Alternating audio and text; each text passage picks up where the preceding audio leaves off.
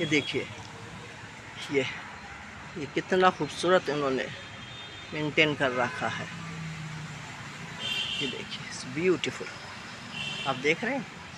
ये रियल के प्लांट है बॉन्जाई ये देखिए, कितने खूबसूरत लग रहे हैं।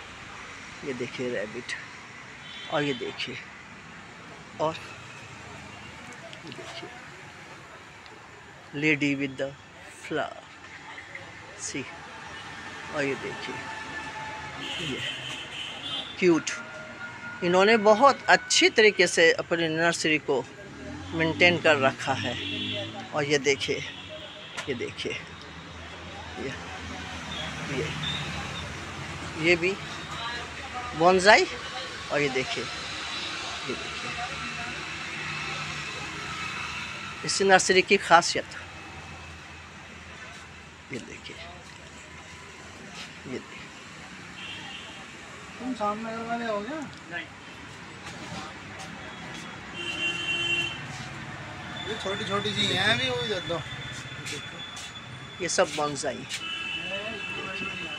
Thanks for watching